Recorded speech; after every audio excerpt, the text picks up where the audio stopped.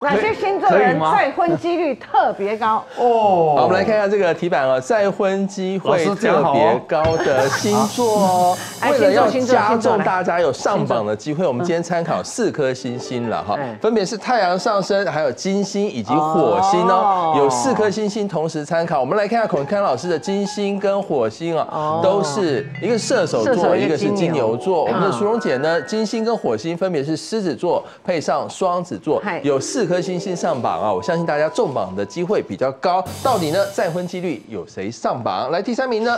来恭喜的是水瓶座。没有没有。如果是水瓶座的朋友，再婚机会是特别高哦。那么演艺圈其实有蛮多水瓶座的朋友呢，他其实呢婚结婚以后，可能第一段感情不幸福，那么第二段感情呢就更加幸福了。对于水瓶座的朋友来讲。再婚这件事情，他们是重新开始，有如新生呐。其实感情的这些风风雨雨啊，有可能是个性不合，或者是说在不对的时间遇到了一个对的人，或者说遇到在对的时间遇到一个不对的人，整体来讲。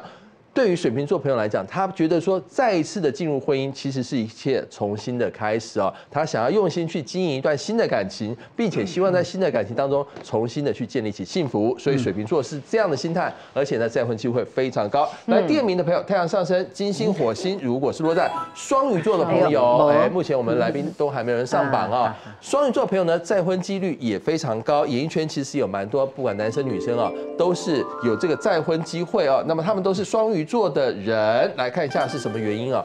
对于双鱼座的朋友来讲呢，这个再婚是他们重新证明爱情，并且呢确认自己是值得被拥有的啊。那么感情的一些生变或婚姻的一些呃不幸福，对于很多双鱼座朋友来讲，会觉得是人生当中这种挫折，好像呢被爱情抛弃了。那么他们会借由再婚来证明自己是相信爱情的，相信幸福的，并且呢自己。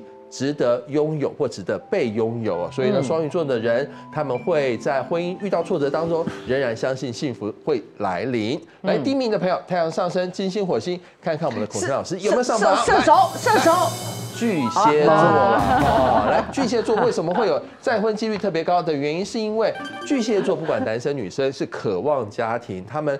经过一次婚姻的一些变化以后，再一次会愿意走入家庭的原因，是因为他觉得家庭才是一种安全的堡垒，才可以弥补内心里面恐呃渴望幸福，并且呢去呃把这个寂寞的感觉把它撇开啊。所以呢，有上榜的朋友，水瓶座、双鱼座以及巨蟹座再婚机会非常高。那我这边必须说，孔天老师啊，其实啊，他可以再婚五次。不是，我觉得孔天老师你要珍惜每一个爱你的女人，嗯，因为你是一个。不婚主义者，哎呦，不婚主义是不婚主义者，你可以拥有爱情，你可以拥有小孩。其实对于婚姻，我是觉得你会保持一点距离，但是你结了婚以后，你要应该去珍惜愿意跟你共同守护家庭的这个女人，因为他们的爱是非常大的，她把你从一个不婚主义者扭成一个愿意相信爱情跟家庭跟婚姻的人。所以呢，孔天老师必须珍惜你的另外一半，都有感情哈。必须要问一件恶心的事了，是不是？什么叫恶心的事？啊！你要问这种，一定是孔锵老师。哎，孔锵老师也算是风流才子，对不对？没有才子有没有风流？你还没风流？哎，才哎，这个才子有，他没有 风流。真的是你说恶心的事。对孔锵老师，哎，说再婚三次，风流才子，前两次都是净身出户。比方说净身出户，这是一个好听的名字，其实是根本没钱呐。嗯哦。啊，都被拿光吗？还是你你你自己真的啊？对方也没有啊，啊，所以哎，就是什么叫对方也没有？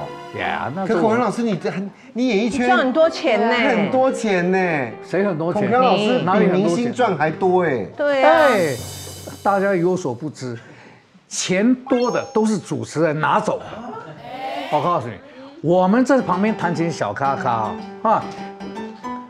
对，那个汤家会好呀，吼，哎，每个啊，这大家规矩给摸了，加了，哎，每个大哥都点名，没有孔锵，他们是不主持的，哎，是啊，对啊，那只是个光环，其实是没有什么收入，好不好？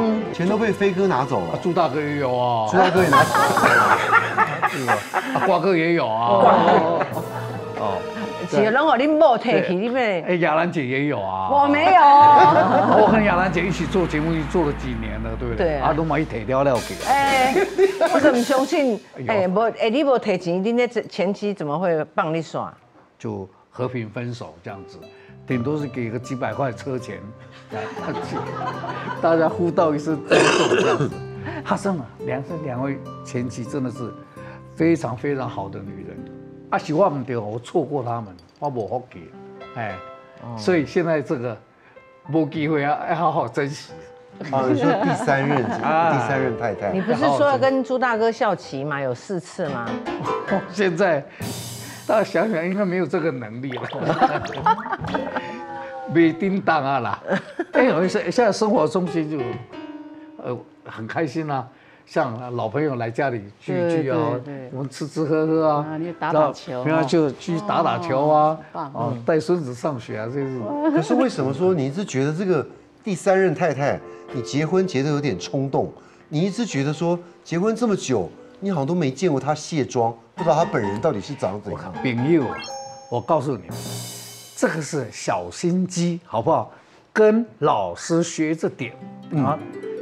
当每次回家，一回来门一推开，一门一关一看，哎，老婆，我现在也不出去了，干干嘛要化着妆啊？也没客人了。他的反应一定是化妆，我没化妆啊，没化妆还美成这样，哇塞！恶不恶心？你说我刚刚是不是说很恶心？哎，是不是就来了哦，啊？要是这个东西，懂不懂？哦，嘴巴甜，跟老婆要零用钱。啊，对嘛？哦呦，你没有化妆哦。哎，而且这个这个梗呢，而且还是屡试不爽哦，嗯，隔三差五的，哦好不好？隔三差五的，像我们早上起来已经坐在那边，嗯、在看花手机，看他从房里走出来。今天我们出去吗？妆化那么浓干嘛呢？我没有啊，钱拿去。后面后面不用再讲，那个现在已经变老梗了。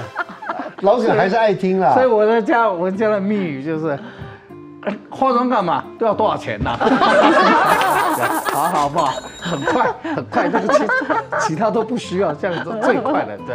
哎，说真的啊，啊，雅安姐、淑凤姐都看我老婆，不会太差吧？对不对漂亮哦真的真的，皮肤很好，漂亮，蛮漂亮漂亮的。？OK 啦。他一定要好好珍惜 哈，对还要把病养好。朱大哥临临终前的 的的送我的礼物遗嘱就是说，我什么哈都不能送给你，我把糖尿病送给你。真的，真的一语成谶呢，真的是哦。